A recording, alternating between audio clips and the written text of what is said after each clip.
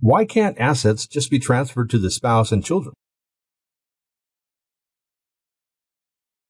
Attorney Stephen Spewak says, It's possible to transfer assets to either a spouse and or to children.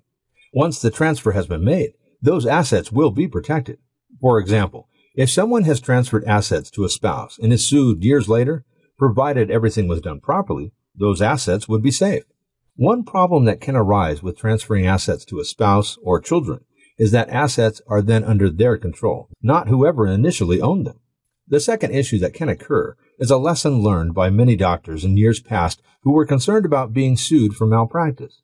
When they decided to transfer all of their assets into their wife's name, the plan worked very well. However, a few years later, when the wife filed for divorce, she was then able to walk away with a disproportionate share of what he had given her.